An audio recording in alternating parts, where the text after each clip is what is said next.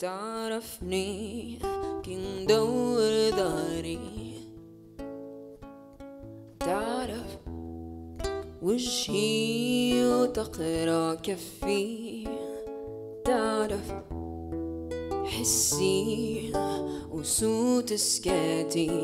La musique, elle est, elle est très, euh, très influencée par euh, des rythmes blues, par euh, de la folk, par, surtout par des textes tunisiens très, très actuels, mais à la fois poétiques. Sinon, ça va, ça va évoquer des, des tendances orientales d'antan, mais aussi euh, des tendances euh, très contemporaines de la musique arabe.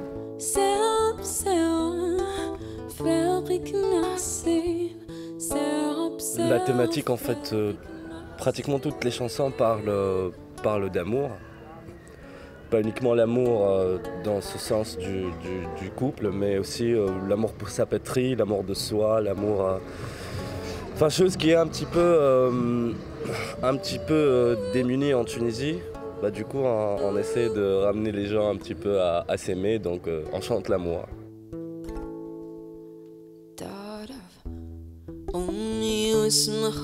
Je pense que, notre musique est très liée en fait à ce dialecte tunisien.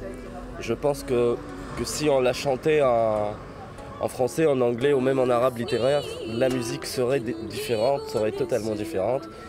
Euh, donc loin de nous, je pense, l'idée de, chanter euh, dans une autre langue. En plus, c'est cette symbolique, c'est ce travail qu'on fait sur ce dialecte justement, qui, euh, n'est pas très, très à l'abri.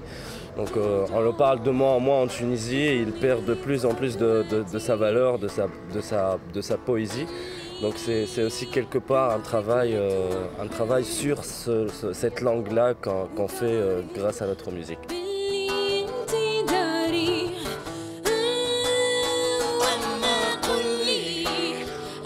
snotty.